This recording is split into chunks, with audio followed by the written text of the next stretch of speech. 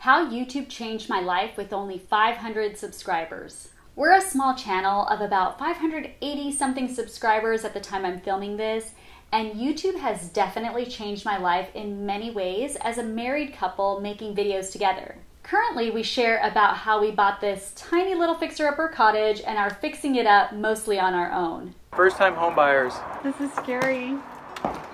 Do I need to plug my nose? Yeah. Is it bad? Yeah. I've been preparing to relaunch our videos again because we haven't posted in a long time. I lost all our content on our external hard drive and had to figure out how to get it all back. Then I got burnt out, took a break, and now here we are. We're back. I have been watching these trending videos about how YouTube has changed people's lives with only 500 subscribers. And it has really inspired me to relaunch our videos again sharing my own story about this same topic.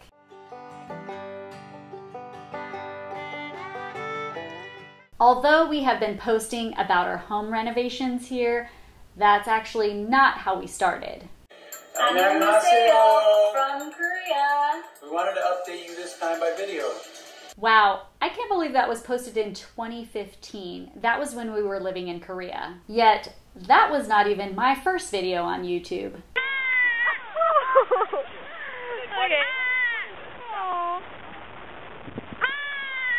When I was traveling in Mongolia in 2008, I decided to post a video of myself in the countryside to let friends and family know what it was like for me there. At that time, YouTube was such a new thing and it was completely different than what it is now. I remember sending a link to the video to people that I knew and then I got really confused when complete strangers started commenting on my video and asking me questions.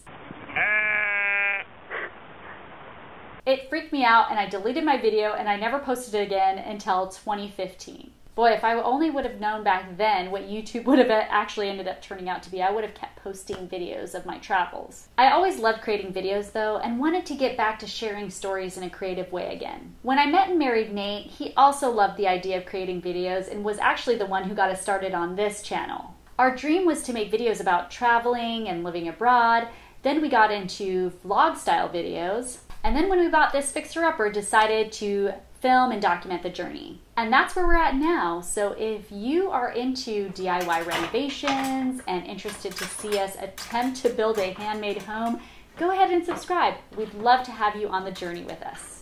Although we only have 500 subscribers, YouTube has still changed my life. There is a saying about not despising small beginnings, and that is so true. It's at the beginning of your growth that you learn so much about yourself and technical skills. And with us being a married couple creating videos together, we have had to learn a lot about working together on something we both love. And that has not always been easy because we are both creative in different ways. As I reflect back on our journey, I can see that we have been building a foundation of our skills as they continue to layer on top of each other. We have been learning new things with every video and adventure. 500 subscribers may not seem like a lot, but it sure is for us as we don't even really have a social media presence on Instagram, Facebook, TikTok, and some of those other platforms. I've heard someone recently say, and they were quoting someone else, that a life worth living is a life worth recording. I could totally resonate with that as we have been recording our lives on video as we're fixing up this fixer upper little cottage and also recording our stories in written form on the blog. It has become a part of our legacy that we can look back and remember all the memories that we've made.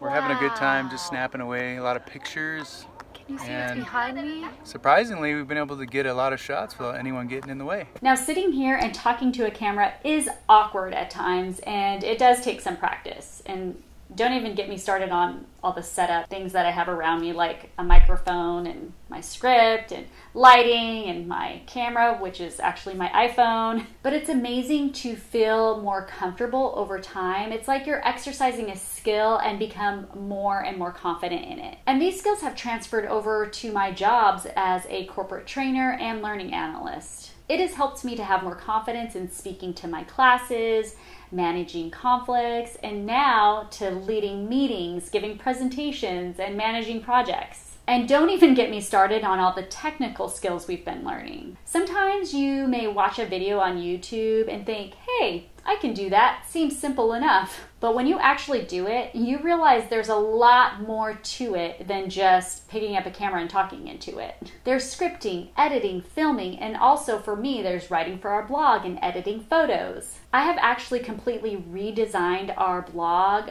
during this break that I've taken. So if you like to consume content in written form, go ahead and check it out at journeydowntheroad.com. I'm so proud of what we have accomplished and know that we will continue to build on this foundation. Now, there are times when we record videos and we don't like the way that we sound or look. We get embarrassed to include certain clips in our videos.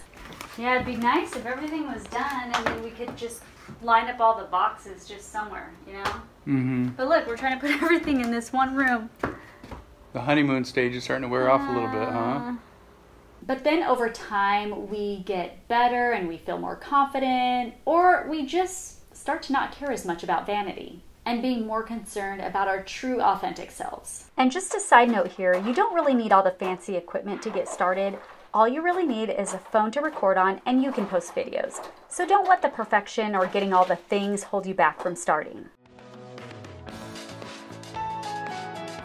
If I had to sum it up, I'd say that YouTube has changed my life by helping me to just get over myself and do the thing that brings me joy. What I mean by this is that sometimes I feel like we hold ourselves back from the things that we really want to do or achieve because of fear of what others may think or say, of being criticized and feeling insecure. Trust me, we have been there many times, but when you just get it done and face the thing, there is a sense of accomplishment that is indescribable, making it worth all the effort of getting up at 5 a.m. and going to bed at like 10 p.m. sometimes during the weekdays.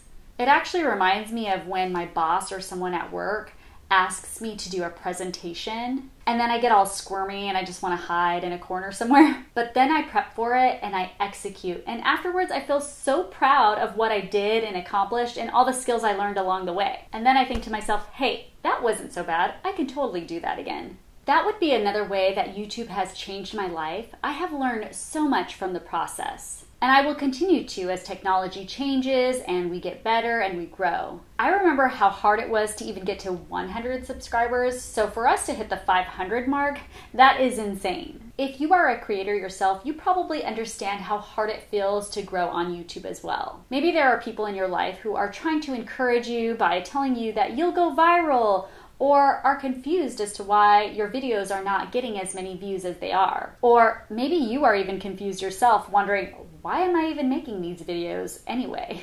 Then you watch your favorite creators on YouTube and wonder how they reached the success they did, and secretly, or maybe not so secretly, wonder how you could do the same. I think it's easy to get caught up in chasing views, hoping to go viral or blow up on the platform, but then maybe you'll just end up burning yourself out and hating the process anyway. I have to admit, that may have led to a bit of my burnout as well. So, what is your why? I guess you have to take a step back and think about what your why is. Like, why are you here making videos? My husband and I have been living in a fixer upper while we're fixing it up. And we're also working full time jobs, so it takes a lot of time and dedication to make our videos. And since I've also completely redesigned our blog that coincides with our videos, it has been a huge sacrifice of time to learn the process and just to get all the things done. But this is our why. We personally love consuming content on YouTube ourselves, and this is our way of giving back by hoping to help and maybe even slightly entertain others by sharing our adventures just like we like to watch from other creators. Are you happy about your purchase? Yeah, I want to see if you are. Go ahead. You can't even reach. We also hope to build community here with like minded people and share the things that bring us joy. I've had so many regrets of not starting earlier or being more consistent throughout the years. And that's what really motivates me to keep going. I don't want to keep hanging on to these regrets that I have. And back to not despising small beginnings. This is a great reminder to just keep going where you are and not compare your channel with others. It's also really fun to go back and watch our old videos. Those are memories that will be cherished forever.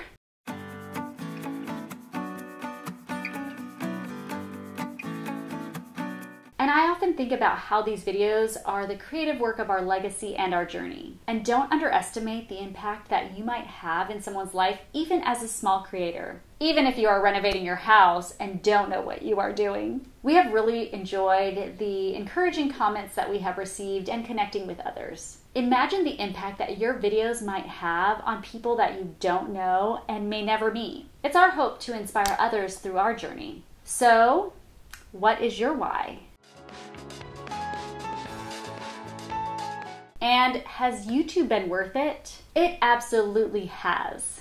I can't believe all the skills that I've been learning from filming and editing videos to all the prep that comes before that and all the things that you need to do to get ready to post that video. I actually create content in my professional career as a learning analyst, from creating training courses and curriculum to scripting storyboards for videos. So my skills have been transferable both ways. My job helping me to create videos and work on our blog. And while I do these things, it also helps me to just do my job better at work. Think about how making YouTube videos may also impact other areas of your life, from giving a presentation at work to just being more proficient in technical skills because you've learned how to edit videos. All of these skills could help you with your job, personal life, and maybe even volunteer activities. I could go on and on about this one, but you get the point. Sometimes it can feel like a grind, especially if you have a job and other priorities in your life, which I think most of us have. You have to find time to work on making videos in the mornings or the evenings and just whenever you have the time to do it. I've also spent a lot of PTO time creating and editing videos, which, by the way, I'm on PTO this week, so that's why I'm filming this video. Reminds me of that good old 80s movie, The Karate Kid. Remember how Mr. Miyagi had Daniel-san do random things like wax his car and paint fences? But he wanted to learn how to do karate, not to do somebody else's chores. Yet it was in the practice and consistency of those tasks that eventually helped him to learn the skills to do karate without him even realizing it. That's what I felt like I was going through when I had the very big task of organizing our external hard drives and figuring out our processes and systems so that we could produce our videos and blogs. I just wanted to create and publish, but there was so much behind the scenes that I had to get right and set up. But I believe that it is in these secret moments of prep and repetition that builds your skills and momentum. And then you can look back at the library of videos you created and take a bow at your accomplishments. You did it. I hope this encourages you to keep going with the time that you dedicate in the secret. Who knows what opportunities can open up for you in the public because of your dedication? Not to mention all the skills that you will continue to learn each and every day. Hope to see you in our next video and blog. Hey there, we'd love for you to check out our newly designed website at journeydowntheroad.com. You can easily search for whatever category or topic you're interested in and read more about our little pine cottage. Get the inside scoop about our story and how we've lived simply in small spaces and how you can too. See how we've also built a handmade home with reclaimed and salvaged materials. Thanks for joining us on this journey.